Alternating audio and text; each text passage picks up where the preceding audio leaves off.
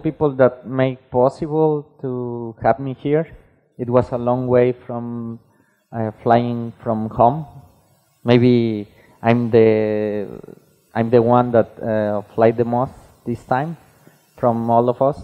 So I just want to thank uh, everyone. Thanks Anuthin, thanks uh, Anne, and thanks Boom for being in touch and putting all all the things together for having me here. Uh, sorry. Um, as Boom mentioned, I'm I I've been um, type designer with commercial type uh, since uh, 2013. So it's been already six years uh, working with them. Um, I've been working in uh, in many many projects, many typefaces, but uh, the one I want to show, I think that's um, the one I have this uh, deep love, and I think it's just because of of the whole story about it. So I'm gonna try to to share this and put it in words.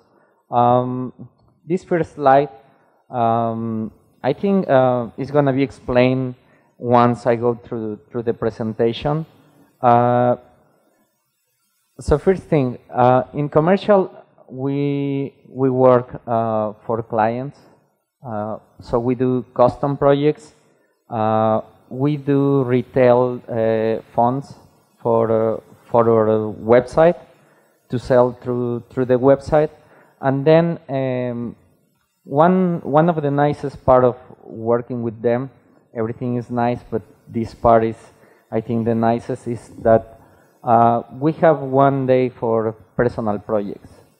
So we basically, we are free to, to decide what we want to do. And the idea is that this uh, project is going to be released through commercial. So we need to start uh, thinking about uh, what we want to do. So basically it's like to build our own brief about what we want to do. Um, I've been always uh, in love with Caslon. Um, I don't want to talk too much about this because maybe a lot of you know more about about this, but um, it's been a misconception about uh, what is Caslon because we always think on one name and we think that everything that was done by Caslon was done just one by one person, but uh, Caslon was a foundry, so and it was a family that went through many many years. But um, the thing that I like and I was always in love was with Caslon Old Face that was done by William Caslon the first. Um, this type this type was inspired by the Dutch types uh, from the Baroque uh, period, and they were basically uh, the type that was used um, in England until until Caslon designed his first typeface. Also, his design was um, uh, his design influenced uh, John Baskerville later. Um, what I what I really like um, from Caslon, um, from the old old style uh, Caslon, uh, it was the big sizes. So this is actually um, the size that I love that, that I love most, and that was that was the inspira inspiration for Canela. Um, uh, this is the French canon. Uh, I there was no no no many um, digital uh, revivals uh, of those sizes until Matthew Carter uh, did his uh, big Caslon. But before that, there were some other interpretations. Um, Caslon became like super popular uh, and it was used uh, for really long time. Even uh, the Declaration of Independence from United States was uh, set in Caslon.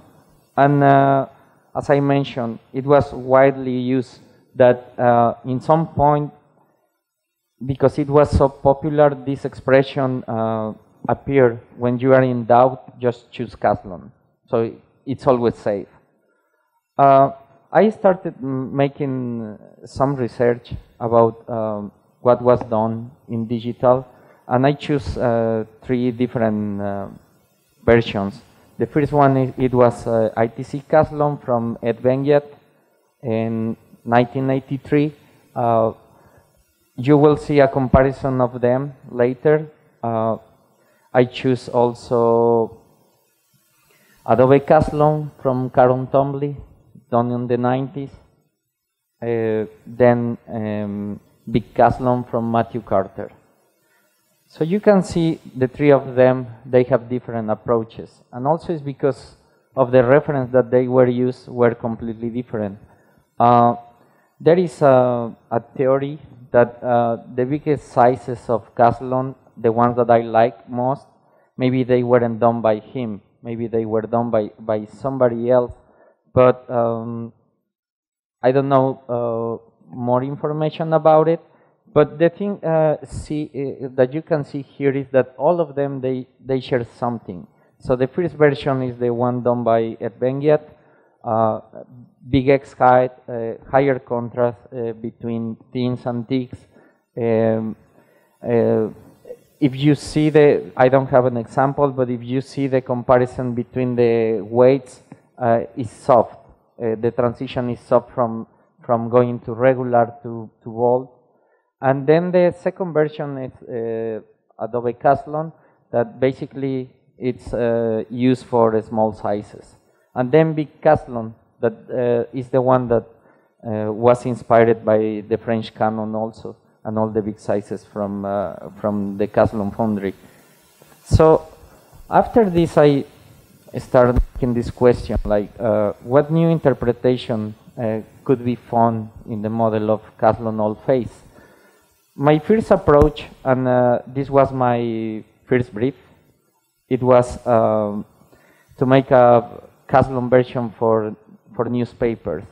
So basically, I spent um, five months trying to make it work, but it was too difficult to me because um, I think Caslon is one of the typefaces that uh, it's a, it doesn't have uh, the same construction as some other typefaces. So it doesn't follow this uh, calligraphic um, uh, construction that normally we are um, that normally we expect.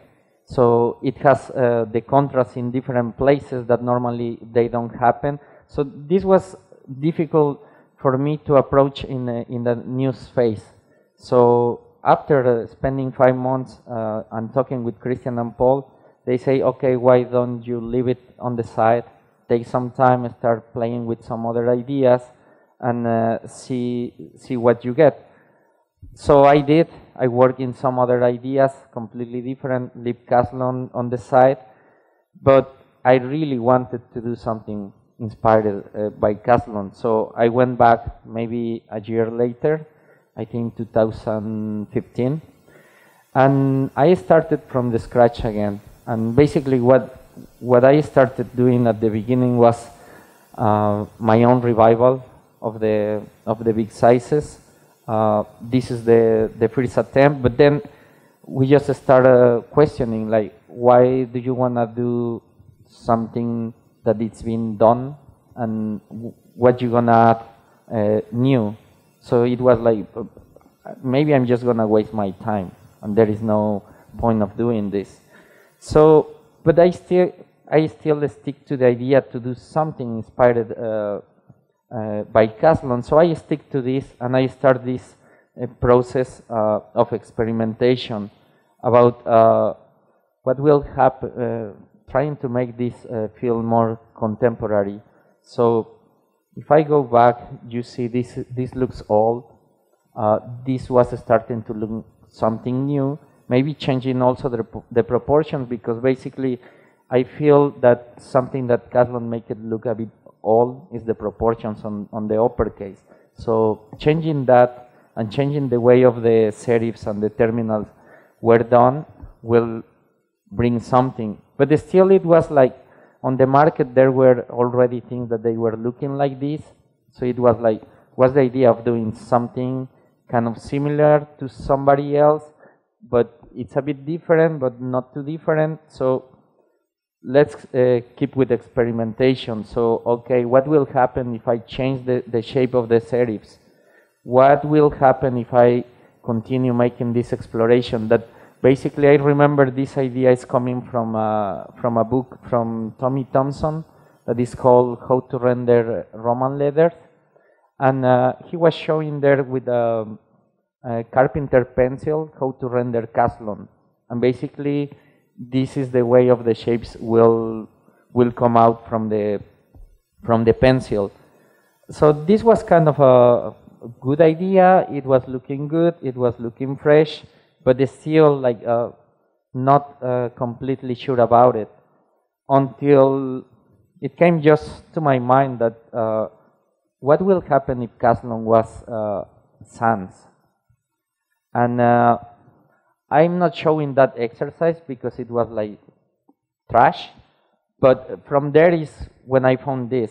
Like from doing this experimentation is when I found those uh, semi-serifs, no serifs. I didn't found nothing new because you've seen this in other uh, in other typefaces. But the combination of Caslon and, and this treatment, it just uh, became in, in Canela. It happened that this process took me like really long time. First, the first five months doing the text, uh, the newspaper phase. Then I think for those process, for this process was maybe like three other months. And uh, at that moment, we used to share the, the office with a fashion magazine called Document Journal. So I think exactly the same day or just one day difference when I finally found this and I print uh, proofs because we share the space. They they have access to the to the same space. So the art director was just walking around and I and he saw the the print proofs and say, "What is this?" And I say, "Oh, Miguel is working on this. He just starting." I say, "Do you think I can use it for the next issue? It's gonna be out in a month." And they're like, "Whoa." And Christian say, "Yeah, I think I think we can do it." So basically, that's what happened.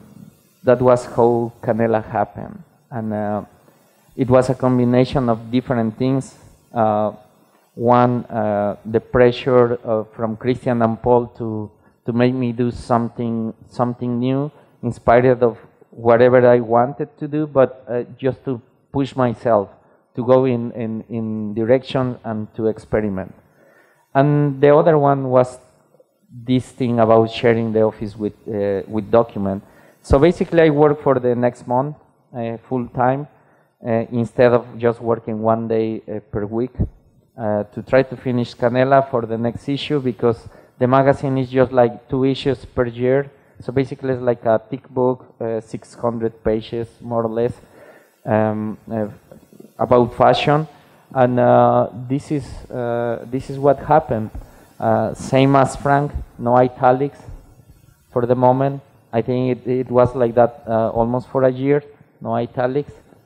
Um, next thing, uh, we normally work with magazines, and um, they normally approach uh, the studio asking if we have something that hasn't been released that uh, almost anybody else has been using. And uh, it just happened that I was finishing finally Canela for releasing, that I was close, maybe still like four months behind, but they were uh, redesigning Traveler. So this is the second time when uh, Canela went out, um, not done yet for the market, but uh, good enough for being in a magazine and uh, to work with them. Uh, I think it's still no italics the same. So it was like that for uh, maybe a year. Um, and uh, yeah, uh, Canela was uh, released in 2016.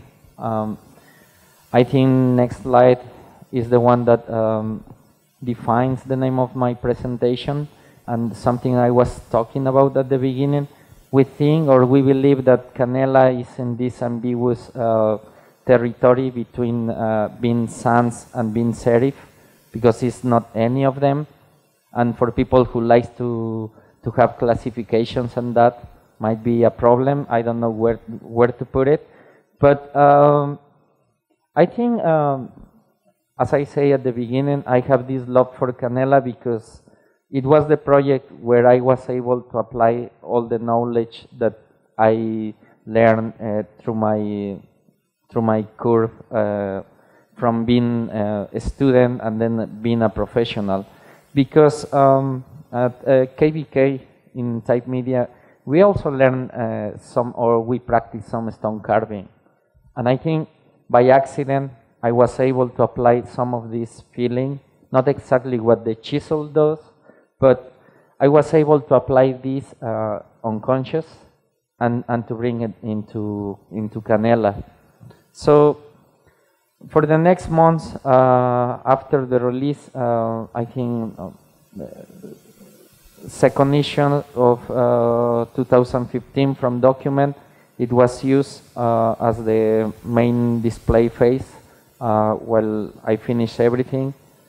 Um, once it was released in October 2016, something funny happened because um, New York Magazine was working in this special issue for Barack Obama, and they chose uh, Canela for um, for uh, the typeface uh, display typeface for the whole uh, for the whole issue. Actually, I think in this one Barack Obama was invited as uh, editor of the magazine.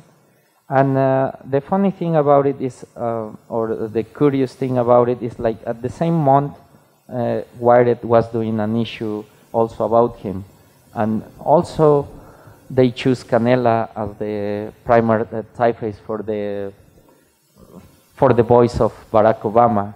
So it just happened to be like super funny that two two companies that they didn't know because they kind of hide the information about what's going to be the next issue were kind of taking the same decisions. And Canela to them it was the voice of, of Barack. So Canela, um, as you've seen, it's been just display. Uh, and uh, those ex those examples that I'm uh, these examples that I'm showing uh, is just the display face. Uh, we didn't have any expectations about Canela, what's going to happen with Canela. So when I planned, okay, this is just Canela. It's going to be six weights with italics, and that's it. But Canela kind of uh, started uh, becoming a little bit um, famous, and um, and we noticed uh, through the use of people, uh, we started working with uh, with the Cut in uh, 2017. they were redesigning redesigning its website, and they were using Canela in kind of a, a small pull qu quotes or also titles, but they weren't uh, big enough to Canela work well. But at the moment, that was it. That's all I have. So they went for Canela and they use it on that way. So we noticed that people wanted to use Canela in smaller sizes. And uh, I needed to do something about it. So basically all those examples you see, it's uh, used um, on display. Um, they use it as a brand. Uh, it's been used uh, for photography, uh, for fashion uh, brands, uh, for malls, posters, um, bedding, documentaries. Looking and trying to find examples of how Canela is being used, it, it just brought something really funny. Uh, there is the conception of what you do, what did you do, and uh, how do you explain what you have done, and there is explanations from people about your work. And uh, this thing has been super funny about it, and we talk about it in the studio because it seems when people know that I'm Mexican, just because they know that I'm Mexican, everything that I do is Mexican. But even I don't know what's Mexican in type design. So it's funny because I read, um, I think um, this is coming from Fonts In Use, so they have explanations about uh, the projects, and, and this is done by people who want to submit things and they will write about it. It's funny because the next slide is wrote from the same person, but he's talking about the 70s Mexican funk uh, that I put on Canela, and I never thought about it. On my process, I never thought, oh, it's gonna be coming from the 70s and the funk. But uh, on the next one, he said this is coming from the 80s also.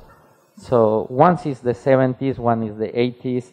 Uh, he's not talking. Uh, talking about also being funky, and uh, I don't know. Uh, he just started calling the Mexican Caslon. I don't know if Canela or Miguel or uh, I don't know.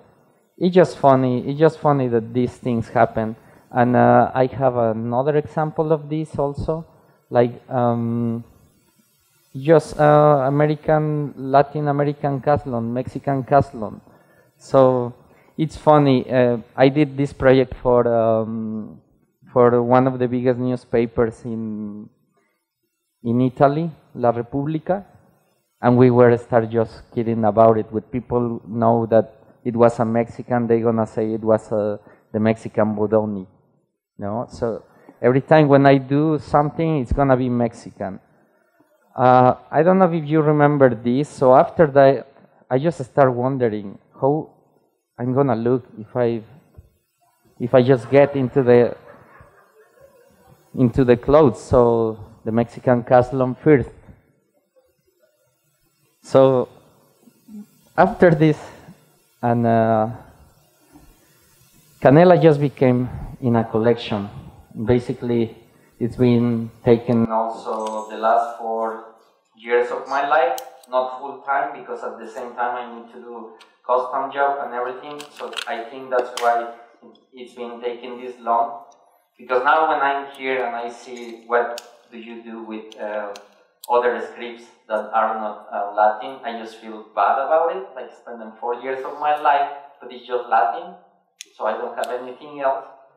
So it seems a little bit stupid, but um, Canela just became in, a collection. First, uh, we never call it uh, Canela display, so we just leave it in Canela because we talk a little bit, okay, what will happen if people ask about something else? Maybe the family will grow. The people didn't ask exactly like that, but we saw it like people was using it maybe wrong, like too small. So it's like, okay, maybe we're gonna need a Canela text. We can get a Canela deck, like medium sizes. And the last thing, uh, it was Canela condensed. Um, this was done uh, this year uh, from Canela Text um, is designed to keep the same elegance as, as the display one, but just to work in, in smaller sizes, uh, around like 20 points, because it's also not like super good for 8 points. So it's still kind of a pretty typeface that can work in small sizes, but not too small, short text. And it includes all the standard typographic toolkit like um, small caps, uh, tabular figures, fractions. And the other thing is that we have two regular uh, colors. We have Canela, Canela regular 1 and Canela regular 2. So this can work for uh, different tastes. People sometimes like to have uh, regular uh, typefaces that are a bit darker. And also it works better when it's in coated or uncoated paper.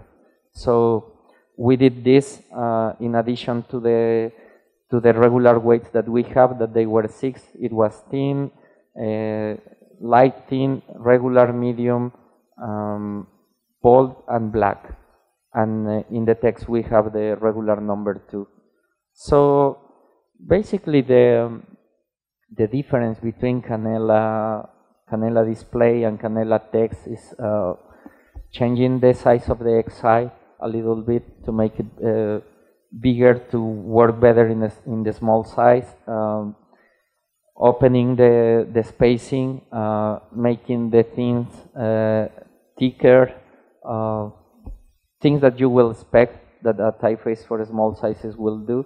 But you see also the difference between the, thick, the thins and uh, thins between one and the other one. They are not too big. So it's also, that's also why it doesn't work well in really small sizes. Uh, so the next one is uh, Canela deck. But basically, this is the one that is optimized uh, for the web because it does the same as the display one, but because the, the titles on, on the web are smaller when than when it's printed, it works better there. Uh, I'm gonna put an example that is not is not happening because when the cut designed the website, we didn't have still uh, Canela deck and Canela text, so they were using just Canela. And uh, I made an, an exercise that what will happen if, uh, if we will just change it for the deck version. It will get more robust. It will work better for there, even though it's not helping the projector here. But uh, this is uh, why we did it. This is why I did uh, the typeface. So you, you can get better tools. And the last part uh, is Canela Condense. Uh, this was kind of a petition uh, from a traveler that at the end uh, didn't happen because um, the design director left also. But I started working on, on, on, the, on the project. And uh, basically, it's inspired uh, by American book covers from the 70s. And sometimes when we condense a typeface, uh, there is an aggressive edge when it's a serif typeface. It could disrupt completely from the original um, design. So I try to keep still the, the subtle curves of the of the form of the round forms from coming from the display one and uh, exaggerating the vertical lines. So basically that's what I did and it's coming uh, from some uh, some um, covers and, or typefaces uh, from, from the 70s.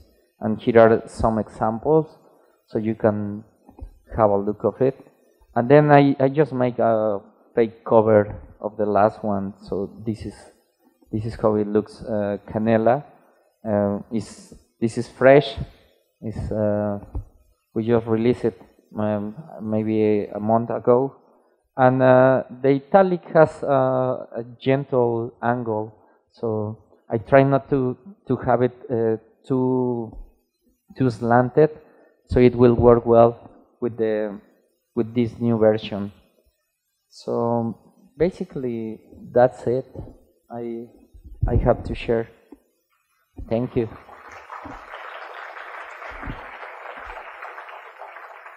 Sorry because uh, I get nervous. I, think this second time I I did uh, English lecture, so it just I get nervous about it. Thank you.